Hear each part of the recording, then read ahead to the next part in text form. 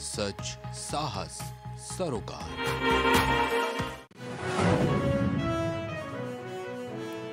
प्रधानमंत्री नरेंद्र मोदी गुजरात को देंगे उनतीस हज़ार करोड़ की सौगात, तीसरी वंदे भारत ट्रेन को दिखाएँगे हरी झंडी।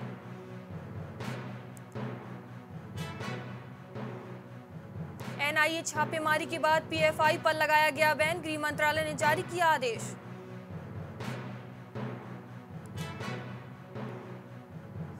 बीजेपी की राष्ट्रीय सचिव पंकजा मुंडे बोली, मैं लोगों के दिल दिमाग में रहूँगी तो मोदी जी भी मेरा करियर खत्म नहीं कर सकते।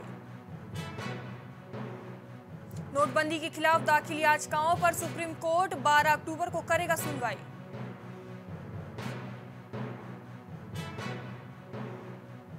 केंद्रीय गृह राज्य मंत्री अजय मिश्रा टेनी बोले, राष्ट्र निर्माण में अपना योगदान करे कांग्रेस।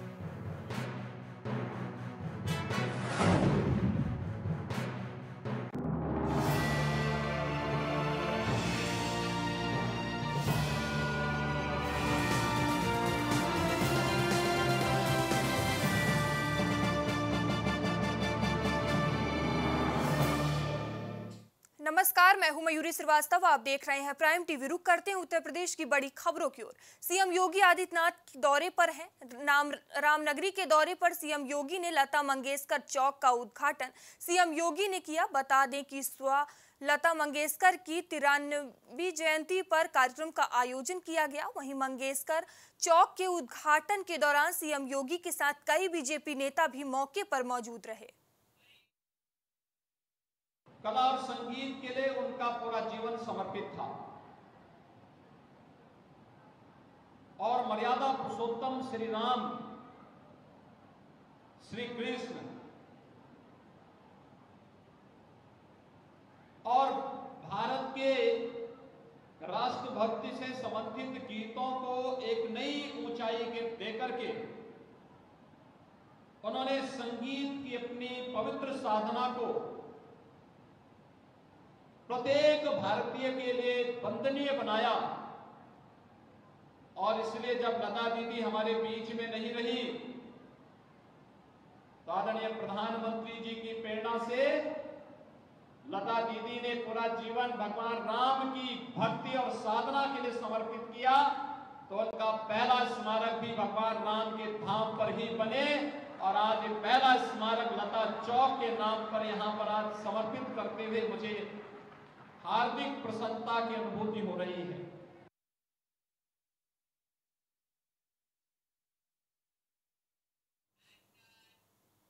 लखनऊ में समाजवादी पार्टी आज अपना राज्य सम्मेलन कर रही है।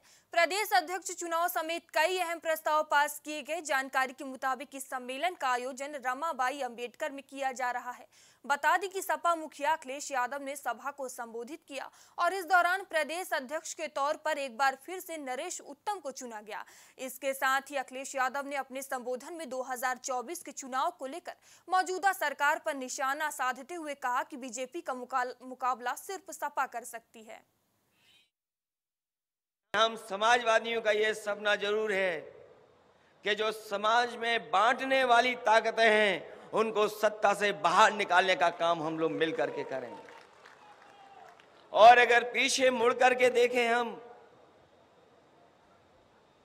जिस समय पिछला लोकसभा चुनाव था 2019 का उस समय भी समाजवादियों ने कोशिश की थी। और वो ऐतिहासिक फैसला लिया था, जो ये देश के तमाम करोड़ों लोग सपना देख रहे थे कि बहुजन की ताकतें एक साथ एक मंच पर खड़ी हो जाएँ, जो कभी डॉक्टर राम मनोहर लोहिया और हमारे संविधान के रचयिता जिन्होंने संविधान बनाया, बाबा साहब भीमराव अंबेडकर जी ने देखा था। समाजवादी लोग जो चाहते थे कि बड़ी जीत हासिल हो, लेकिन जिस तरह के लोग सत्ता में हैं, उन्होंने हर चीज़ का दुरुपयोग किया। हम कामयाब नहीं हुए। उसके बाद दोबारा समाजवादियों ने और हम लोगों ने मिलकर के 22 का चुनाव लड़ा था। जो हमारी विचारधारा से मिलते जुलते लोग थे, जो उस समय संघर्ष कर रहे थे बीजेपी को हटाने के लिए, उन सबको साथ ला करके हम लोगों ने एक मंच पर एक गठबंधन तैयार किया।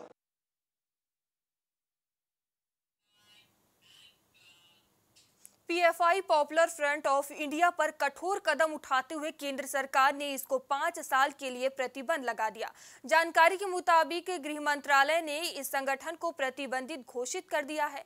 इसके साथ ही केंद्र सरकार ने पीएफआई पर सभी सहयोगियों और मोर्चों को गैर कानूनी गतिविधि रोकथाम अधिनियम, यूपीए के तहत पाँच साल के लिए अवैध घोषित कर दिया है। इसके साथ ही पीएफआई को यूपीए की धारा पैंतीस के तहत बयालीस प्रतिबंधित आतंकी संगठनों की सूची से जोड़ा गया है। वहीं रिहैक इंडिया फाउंडेशन समेत आठ और पर भी एक्शन लिया गया है। पीएफआई पर केंद्र सरकार ने लगाए गए बैन को लेकर सीएम योगी आदित्यनाथ और डिप्टी सीएम ब्रजेश पाठक ने ट्वीट किया है।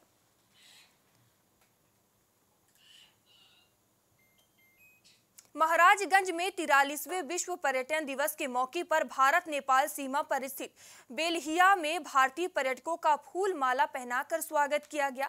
कार्यक्रम में नेपाल के गृह मंत्री बालकृष्ण खाड़ ने नेपाल में भारत समेत अन्य देशों से आए सभी पर्यटकों का स्वागत किया। कार्यक्रम के दौरान नेपाली गृह मंत्री ने भारत के प्रधानमंत्री के नेपाल के प्रति योगदान को सराहा। वहीं भारतीय पर्यटक लाला राम जो दिल्ली में सोनाली बॉर्डर होते हुए आए हैं। उन्होंने कहा कि वो नेपाल में हुए। स्वागत से बहुत खुश हैं और मोदी जी की नेपाल यात्रा को लाला राम ने पर्यटन की दिशा में मील का पत्थर कहा।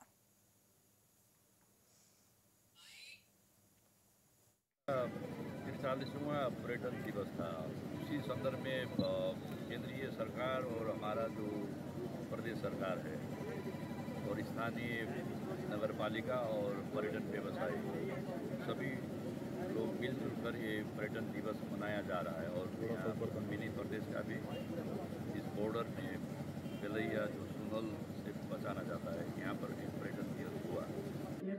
हार्दिक स्वागत मिला। तो मुझे नेपाल करने, नेपाल एक्सप्लोर करने के इधर आया। इधर कल्चर ऐसा लोग सभी देखने के और आपको मन के पूरा देखने के मैं आया तो मुझे अच्छा हार्दिक स्वागत इधर मिला। नरेंद्र मोदी जी इधर आने के समय पशुपतिनाथ टेंपल मुझे देखा। वो समय मन में बहुत आग्रह है देखने के। वो मुझे प्लान किया नेपाल आने के।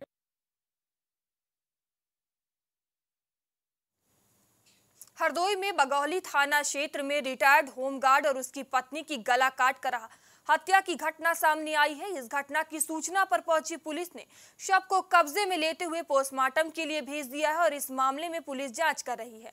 जल्द ही इस पूरे मामले का खुलासा करते हुए दोषियों को गिरफ़्तार कर जेल भेजा जाएगा।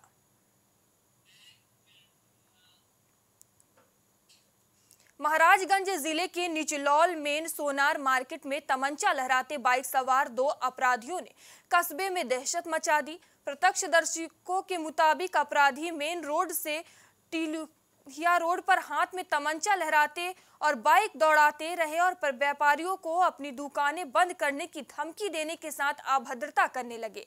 जब लोगों ने इसका विरोध किया तो अपराधियों ने तमंचे का डर दिखाते हुए दोबारा धमकाया, जिसके बाद पुलिस व्यापार मंडल के सदस्य ने थाने पर जाकर इस घटना की सूचना दी, जिसके बाद पुलिस ने दुकान में लगे सीसीटीवी कैमरे में फुटेज के ज़रिए अपराधियों की पहचान कर, करने में लगी हुई है।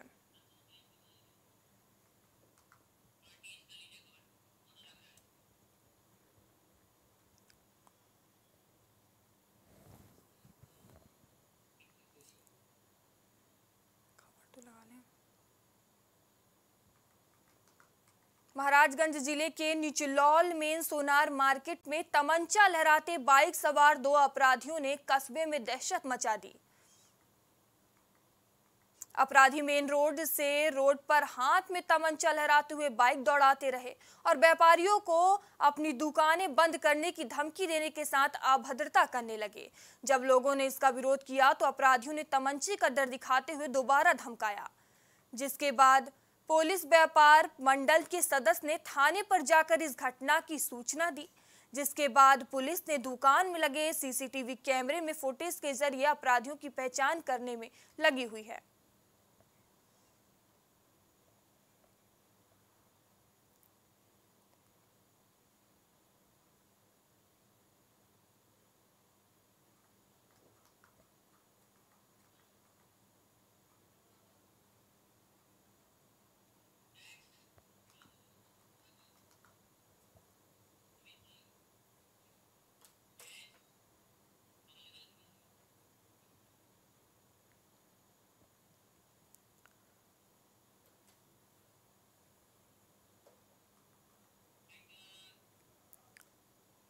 हमीरपुर में राट तहसील क्षेत्र के ददरी गाँव में मनरेगा योजना में जमकर धानलेबाजी की जा रही है। बता दें ग्राम प्रधान और सचिव की मिली भगत से ये फर्जीवाड़े का खेल खेला जा रहा है। और जब ग्रामीणों की इसकी सूचना भन, इसकी भनक लगी तो अधिकारियों में इसकी शिकायत की गई लेकिन प्रशासन की तरफ़ से कोई कार्रवाई अभी तक नहीं की गई जिसको लेकर ग्रामीण लोग इस फर्जीवाड़े की उच्च स्तरीय जाँच कराकर दोषियों पर कार्रवाई की मांग कर रहे हैं।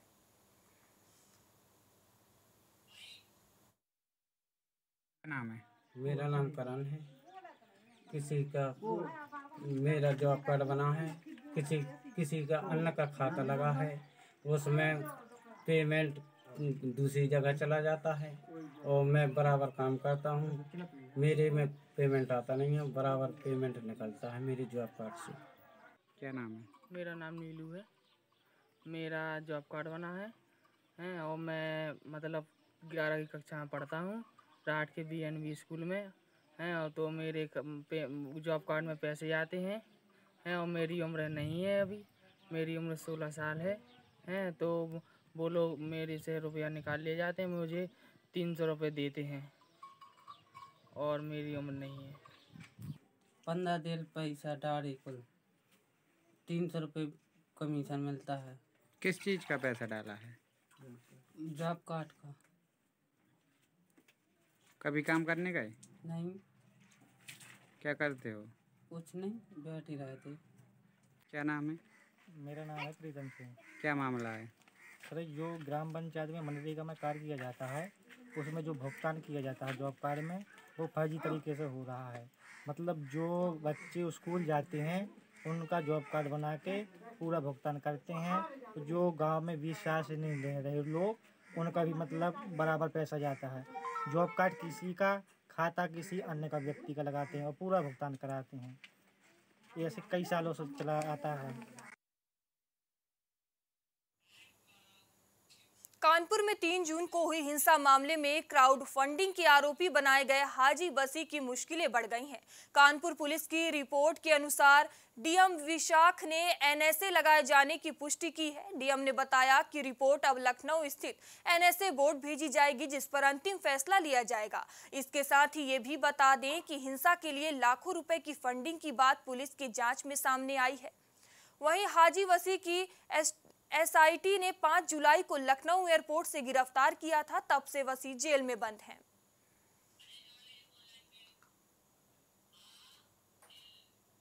इस खबर पर ज़्यादा जानकारी के लिए हमारे संवाददाता अनिल हमसे जुड़ेंगे।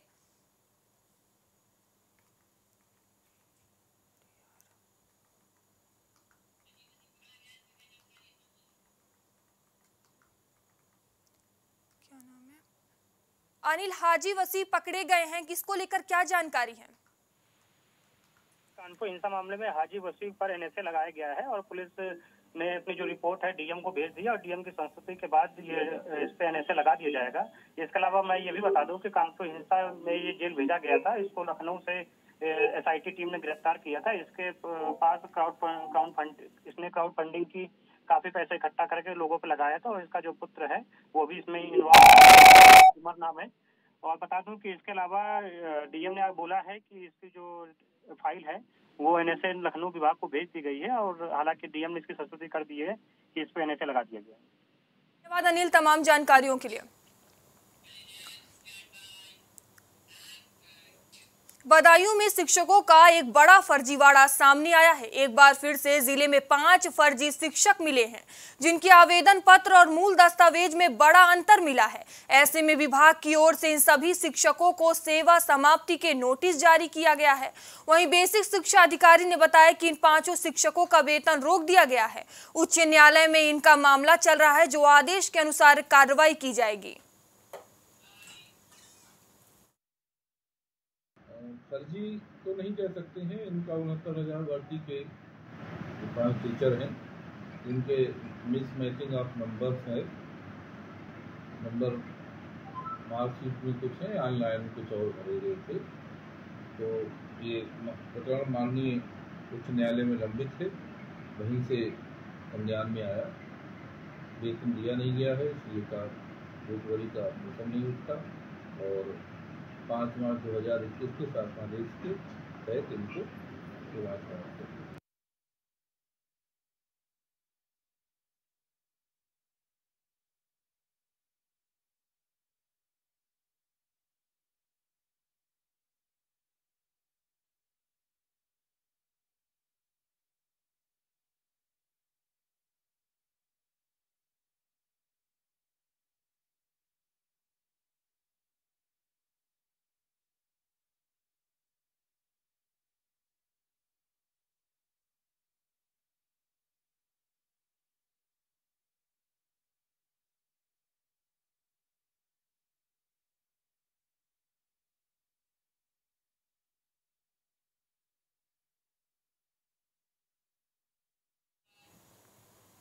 रायबरेली के शहर कोतवाली क्षेत्र मार्केट में सिटी मजिस्ट्रेट ने अवैध बिल्डिंग के कारोबारियों पर सिकंजा कसा है। जानकारी के मुताबिक इन दिनों अवैध बिल्डिंग का कारोबार बदस्तूर चरम पर चल रहा है, देखने को मिल रहा है। आपको बता दें कि लगभग दो दर्जन के ऊपर अवैध मानक विहीन बिल्डिंगों को सिटी मजिस्ट्रेट ने सील कराया। इस दौरान उन्होंने बिल्डिंगों के मालिक को कई बार कारण बताओ नोटिस भी भेजा। इसके बावजूद भी बिल्डर अपनी मनमानी करते हुए बिल्डिंग में काम लगाए हुए थे, जहाँ अवैध बिल्डिंगों पर जिला प्रशासन ने चाबुक चलाते हुए विकास प्राधिकरण की टीम के साथ शहर कोतवाली क्षेत्र मार्केट में बन रही मानक विहीन अवैध बिल्डिंग को भारी पुलिस बल की मौजूदगी में सील करवा दिया।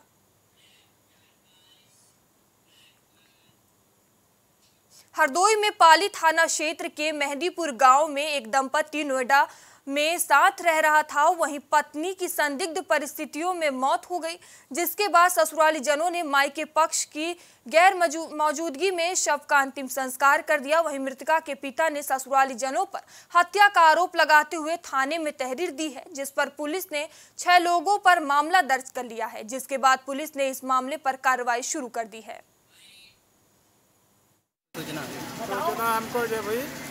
कहीं कहना जाओ ना बताओ कि लड़की बीमार है या नहीं बीमार है इनने कहा एकदम तुम्हारी लड़की चली गई ऊपर को। कहाँ चली गई? तो ऊपर को चली गई। तो तो हमने कही कि आपका हुआ कहाँ में कहे ना घर चले मौके पे पता नहीं कहाँ थे कहाँ थे मौके पे आके फिर हमें आए उनके घर।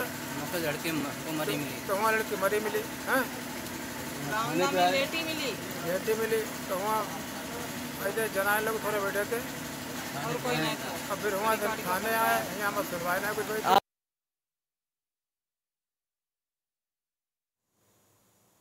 अलीगढ़ के थाना क्वारसी इलाके के धौरा माफ़ी में एसडीपीआई जिला कोऑर्डिनेटर निजामुद्दीन को एसटीएफ ने हिरासत में ले लिया। जानकारी के मुताबिक निजामुद्दीन की गिरफ्तारी के बाद पत्नी और बेटा क्वारसी थाने पहुँचे, लेकिन पुलिस की तरफ़ से उनको कोई भी जानकारी नहीं दी जा रही है, जिसकी जानकारी निजामुद्दीन की पत्नी नूरजहां ने मीडिया को दी।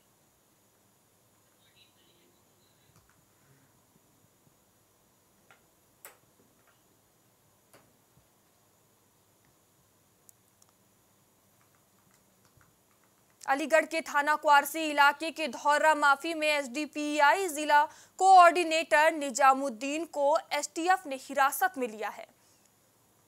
निजामुद्दीन की गिरफ्तारी के बाद पत्नी और बेटा क्वारसी थाने पहुँचे, लेकिन पुलिस की तरफ़ से उनको कोई भी जानकारी नहीं दी जा रही है।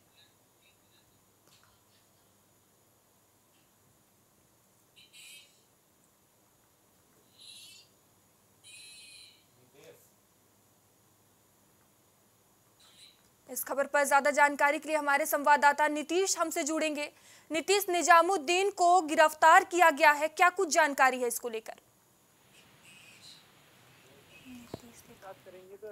एसडीपी ने सुबह इनको, कल रात को देर शाम इनको अरेस्ट किया है। और अभी पुलिस कोई ध्यान नहीं दे रही है, कहाँ पर है, कैसे है, किसी को कोई पता नहीं लग पा रहा। और इनकी वाइफ से भी अगर पूछा गया है तो उनके साहब द्वारा भी कुछ नहीं बताया गया है कि क्या है, बस खाली ये बताया गया है कि उनको गिरफ़्तार करके ले लीजिए पुलिस और पुलिस द्वारा कोई भी सूचना नहीं दी जा रही है। धन्यवाद नीतीश तमाम जानकारियों के लिए।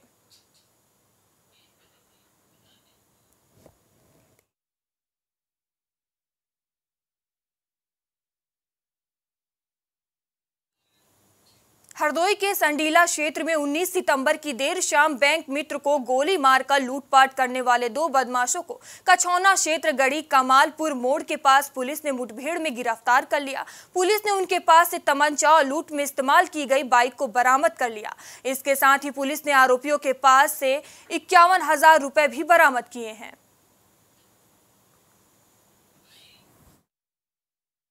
ऑपरेशन चक्रव्यूह के तहत चेकिंग चल रही थी। जिसमें यहाँ थाना कछौना में दो बदमाश क्या दो व्यक्ति मोटरसाइकिल से आते दिखाई दिए, रोकने पर वो रुके नहीं, और उन्होंने पुलिस पार्टी पर हमला किया।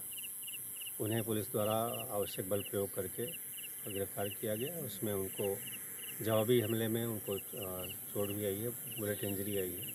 पूछताछ में उनके द्वारा बताया गया कि इन्होंने ही विगत सप्ताह संडीला में बैंक मित्र से लूट करी थी, और जो मुखबिर था उसके, वो यहीं का निवासी है, उसको कुछ पैसे पहले दे दिए थे, शेष बच्चे पैसे देने आए थे, जिसमें कि पुलिस से उनकी मुठभेड़ हो गई है। रायबरेली में सरेनी कोतवाली क्षेत्र के रासी गाँव में पिता की डांट से नाराज़ होकर गंगा नदी में कूद कर आत्महत्या करने जा रही दो बहनों को। पुलिस कर्मियों ने दौड़कर बचा लिया। जानकारी के मुताबिक अक्सर पिता दोनों बहनों को मारता पीटता रहता है, जिससे आहत होकर गंगा घाट पर बने पुल में दोनों बहनें छलांग लगाने जा रही थी। वही पुलिस कर्मियों ने ग्राम प्रधान और पिता को मौके पर बुलाया और उनके बाद समझा बुझाकर घर भेज दिया। सर, दो बहनें गंगा नदी में कूदने आई थी पुल के ऊपर थे पुलिस टीम चेकिंग कर रही थी, बचा लिया है। क्या है पूरा? ये वंदना और संजना नाम की दो लड़की है, जो छोटे लाल नाम का व्यक्ति की लड़की है, जो राशि गाँव की है। ये दोनों अपने घर से किसी बात को नाराज़ होकर के ये आ गई थी और हमारी गंगासो, जो सरेनी पुलिस थाना क्षेत्र का है, यहाँ पुल पर चेकिंग कर रहे थे हमारे जवान एसआई और कांस्टेबल उनको ये लगा कि लड़की कूदने वाली ऊपर रेलिंग पर चढ़ी थी, दौड़ करके जा करके इनको पुलिस बचाया है। जो एक सराहनीय कार्य है, मैं अपनी पूरी पुलिस टीम की बहुत बहुत बधाई देता हूँ।